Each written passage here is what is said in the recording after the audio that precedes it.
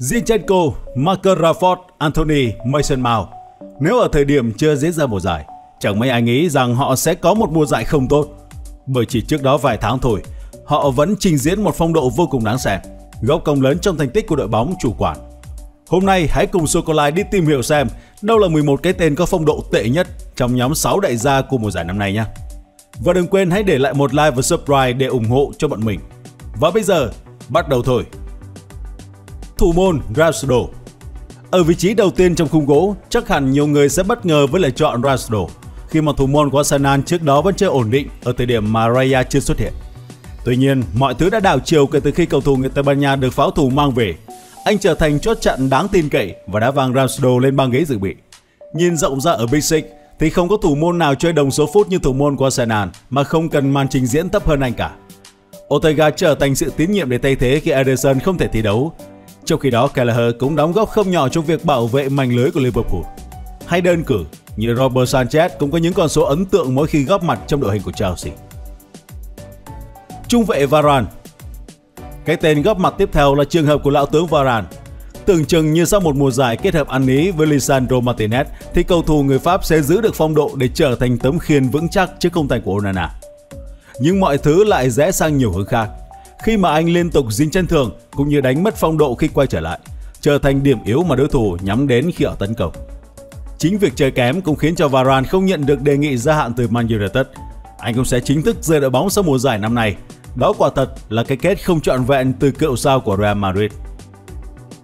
Trung vệ Badiasile Sát cánh cùng Varane chính là người em đồng hương Badiasile, cầu thủ đang chơi bóng cho Chelsea.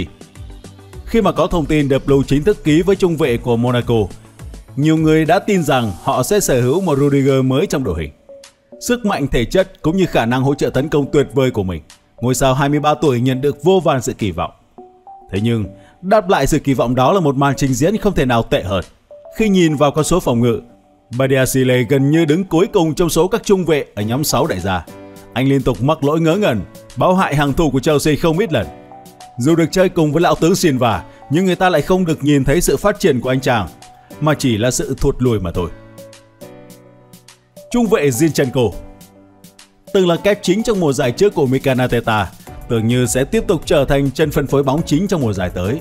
Mọi thứ như đã sụp đổ với tổng tư lệnh Zinchenko khi mà anh đánh mất đi phong độ, rồi mất luôn vị trí vào tay của Tomiyasu lẫn Kiwior. Arteta cho thấy sự thẳng tay khi chứng kiến phong độ sụt giảm của ngôi sao người Ukraine. Thời lượng ra sân của anh cũng đã ít đi rất nhiều sau khi chiến lược gia người Tây Ban Nha cảm thấy hài lòng với hai nhân tố kể trên. Họ đem lại sự yên tâm trong phòng ngự hơn so với cựu sao của Man City, đồng thời còn có khả năng hỗ trợ tấn công không hề tệ. Chính điều ấy đã khiến cho thời lượng ra sân của Zinchenko giảm sút không phanh. Nếu không nhanh thể hiện ở giai đoạn tiền mùa giải tới, viễn cảnh rời đi đang cận kề với hậu vệ này. Tiền vệ Mason Mount được kỳ vọng sẽ trở thành mảnh ghép hoàn hảo với Casemiro lẫn Bruno Fernandes, nhưng rồi Mao lại chẳng thể hiện được gì, mà trở thành bệnh binh khi thời gian anh ở trong bệnh viện còn nhiều hơn thời gian anh xuất hiện trên sân tập. Cựu sao của Chelsea trở thành người thừa trong đội hình của Ten Hag. Dù số phút ra sân không đủ nhiều, nhưng Mao luôn trình diễn bộ mặt vô cùng tệ trên sân.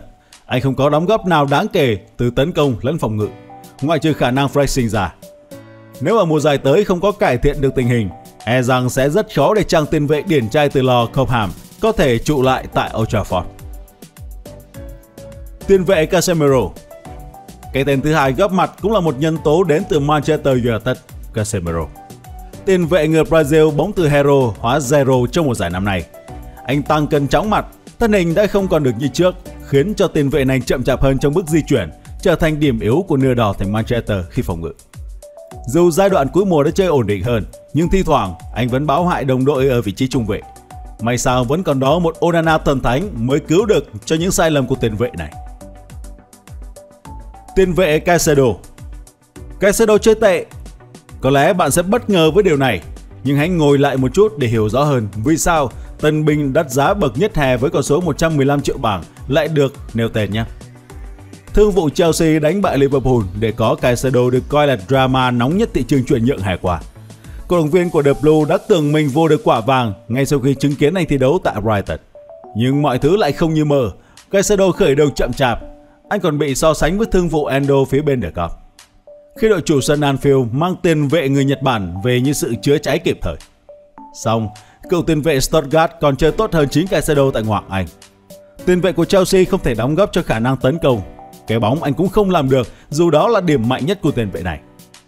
Bên cạnh đó, khả năng phòng ngự, đặt tình huống cũng bị đặt dấu hỏi khi tiền vệ người Ecuador thường xuyên mắc lỗi ngớ ngẩn. Đó là những lý do mà khiến cho Caicedo lọt vào đội hình tệ nhất của Big Six trong mùa giải vừa qua.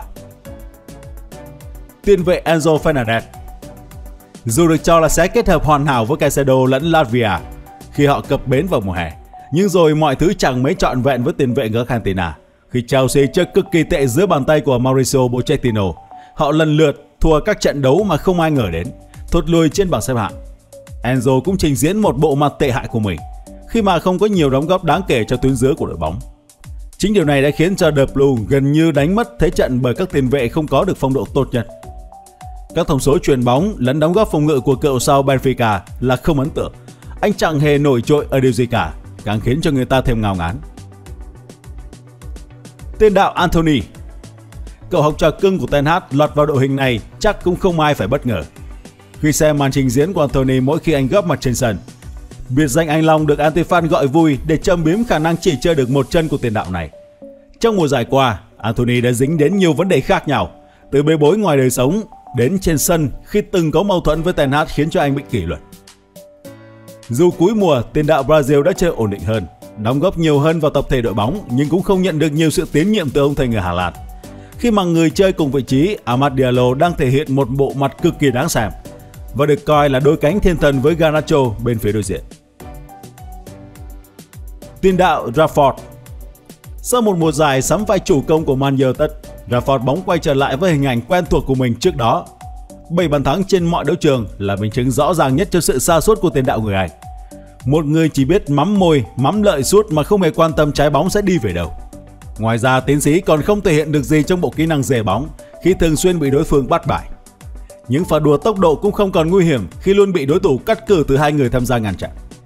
Một mùa giải có thể được coi là tệ hại của Rafford trên mọi phương diện. Trong mùa hè năm nay, người ta đang muốn ông chủ mới Sergio nhanh chóng bán tiền đạo này để mang về một cái tên chất lượng hơn.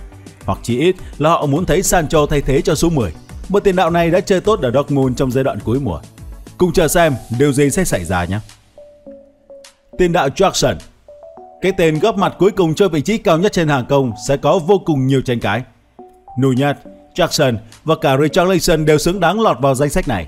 Nhưng cuối cùng, chúng tôi lựa chọn Jackson bởi tiền đạo này chơi còn tệ hơn cả hai cái tên kể trên. Dù có được số lượng bàn thắng không tệ, nhưng nếu nhìn vào số cơ hội được trao tặng thì quả thật, tiền đạo của Chelsea đã không thể hiện tốt bản thân. Anh là người bỏ lỡ nhiều cơ hội nguy hiểm nhất, không chỉ trong Big Six mà còn cả ngoại Anh. Không những thế, Jackson còn chẳng thể có nổi những đóng góp như chuyển bóng hay kiến tạo trong tập thể. Đủ khiến cho tiền đạo này không nhận được cái nhìn thiện cảm từ người hâm mộ. Cũng là lý do vì sao anh góp mặt trong danh sách này, chứ không phải là Nunez lẫn Richarlison.